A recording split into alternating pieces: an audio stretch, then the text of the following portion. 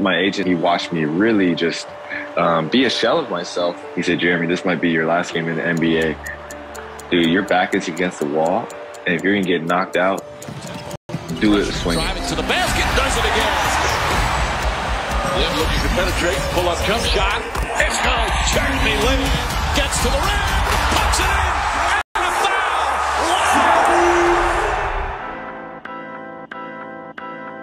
We uh, basically what happened was we played in Boston. We got back around, you know, whatever, like 1 a.m., 2 a.m. That I was on Landry Fields' couch um, because my brother and sister-in-law had friends in town, so they were crashing on the couch where I normally crash. And so by the time we get to Landry's apartment, he's like, "This is my couch. I told you it was small." And I was like, "Oh my goodness, this is smaller than I thought." And I had my head hanging off one end, legs hanging off the other. I was curled up, you know, in a fetal position. I still couldn't even fit on the couch.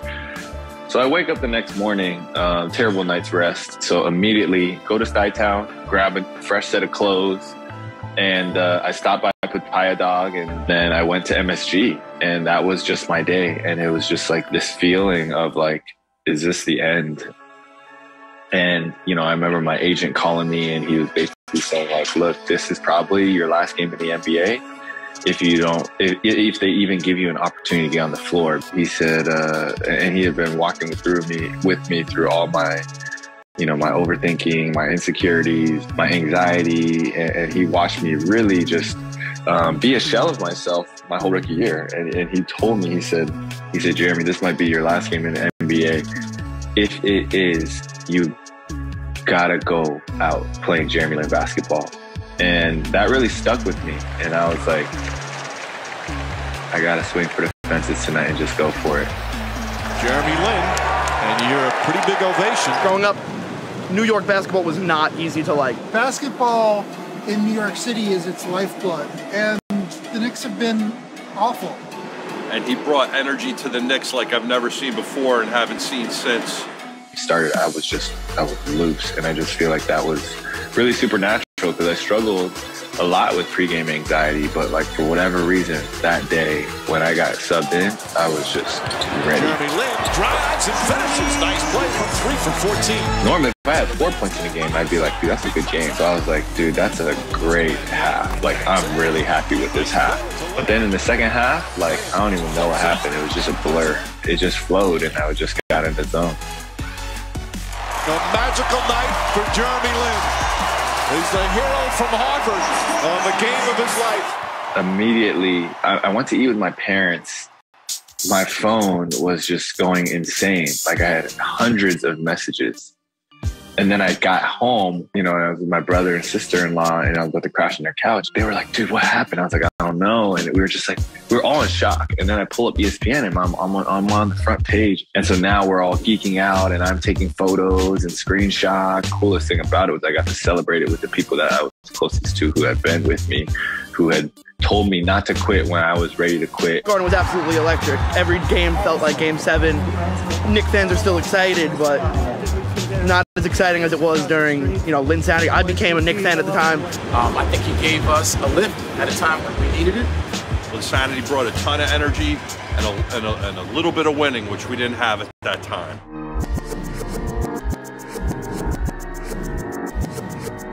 I hated it for years. Like I just, I, my whole life, I've always wanted to just be like, like Jeremy. Like almost felt like phenomenon, which I was never really down with. But I realized like later, I came to really accept it and embrace it now because to other people, that was that. That was like such a moment of inspiration. You know, he could have been a king of New York. And he just, you know, it's get this hope, this this energy, this love that, you know, this one guy just brought to the city and then just like that it was gone. I was always the underdog. I was always surprising people. It was always like, oh, he's better than we thought. So I've never been in a position where I was like, I had any expectations.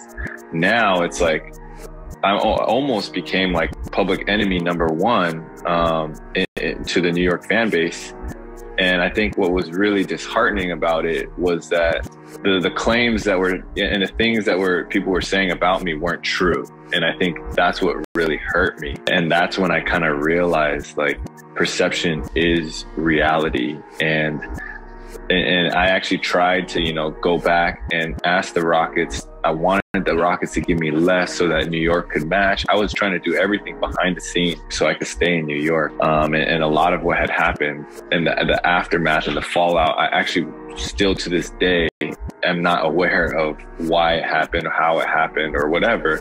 But that fallout was one of the tougher things that I've had to experience, and, and it really bothered me deeply um, and I felt extremely misunderstood. You know, there was just this energy that's hard to really vocalize. You know, unless you're from a, a, city or a town that has a sports team that they just love. To see the garden actually light up changed my perspective on basketball a little bit. It's the Knicks, no matter whether they're good or bad, no matter what. Knick fans are Knick fans, they're always going to appreciate that no matter what. As a New Yorker, I'm glad that we had Jeremy Lin in our city. So, Jeremy, man, we loved you. We still love you. And I still have all the wristbands, the Linsanity wristbands. I have about 30 of them sitting in a box in my house. And we always are looking uh, right smart. That's cool.